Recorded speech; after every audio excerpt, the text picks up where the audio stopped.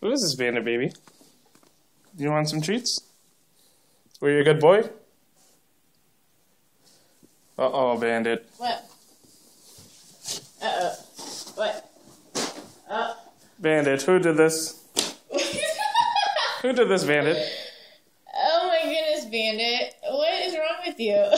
Bandit, who did Where that? Where did this come from? Oh my gosh. Bandit, no, bad boy.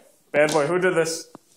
Oh, because I put my. I know what happened. What? So I ate one. Mm-hmm. So he didn't eat it. It was just I wrapped it in Yep, the he towel. left your wrapping there and then he got yep. Bandit. I told you if you're a bad boy, you're not going to get anything.